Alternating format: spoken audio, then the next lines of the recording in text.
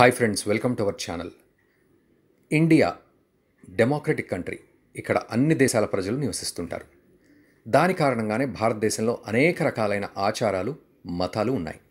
దాని కారణంగానే భారతదేశం ప్రపంచం దృష్టిని ఆకర్షిస్తుంది. భారతదేశం యొక్క సబ్ కాంటినెంట్ అని కూడా పేరు పెట్టి పిలుస్తారు.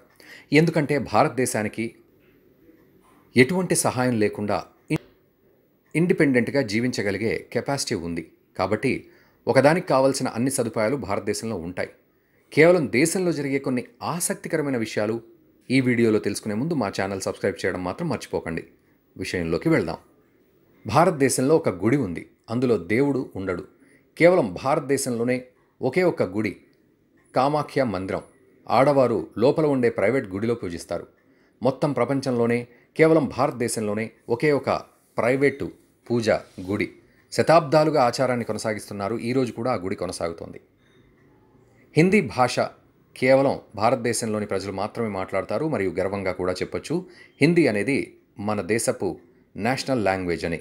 కానీ నిజం చెప్పాలంటే హిందీ అనేది మన రాష్ట్ర భాష కాదు మన గవర్నమెంట్ మనకు చెప్పింది. నెంబర్ త్రీ రాజస్థాన్ రాష్ట్రంలోని కాళీ డిస్ట్రిక్ట్. ఇక్కడ బుల్లెట్ బైక్ పూజిస్తారు అని పిలువబడే ఈ గుడిలో ఈ రోజుకి వేల సంఖ్యలో జనాలు వస్తారు. ఆ గుడిలో ఒక రాయల్ ఎన్ఫీల్డ్ బుల్లెట్ బైక్ ఉంటుంది. ఆ రాయల్ ఎన్ఫీల్డ్ బైక్ను పూజిస్తారు. అందరికీ తెలుసు పంచ పాండవులు అన్నదమ్ములందరూ ద్రౌపదిని పెళ్ళి చేసుకున్నారు.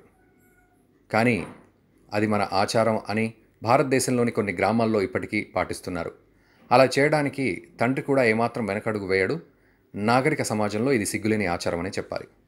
మన దేశంలోనే అతిపెద్ద సత్రంలో ప్రతిరోజు లక్ష మందికి పైగా భోజనాలు సిద్ధం చేస్తారు.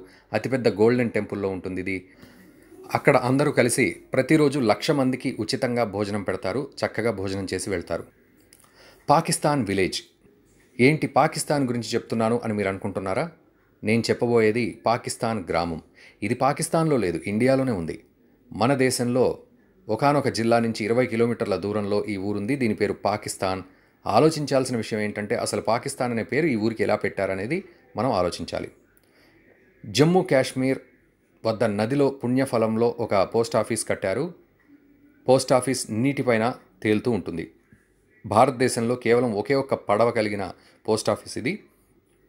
భారతదేశంలో ఉన్న ఆసక్తికరమైన విషయాలు ఈ వీడియోలో మనం చూసాం ఈ వీడియో మీకు నచ్చితే లైక్ చేయండి షేర్ చేయండి. ఇలాంటి మరిన్ని ఆసక్తికరమైన అప్డేట్స్ కోసం మా ఛానల్ని సబ్స్క్రైబ్ చేయండి.